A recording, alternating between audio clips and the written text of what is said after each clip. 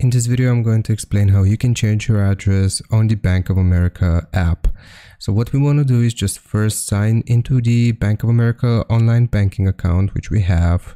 And then after we are signed in into the Bank of America app here with our information, we will click on profile and settings. After we have selected profile and settings, which can usually be found in the top left corner, then you can locate address or contact information.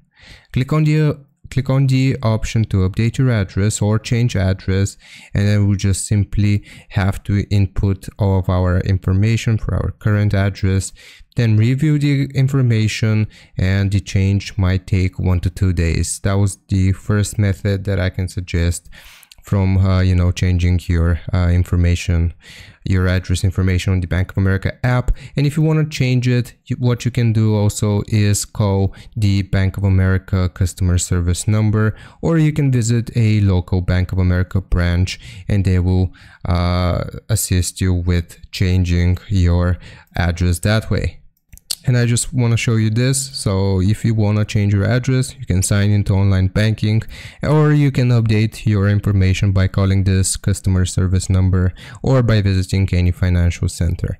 So I hope this helps. Hope this was informative. Leave a like and sub and I'll see you next time. Bye bye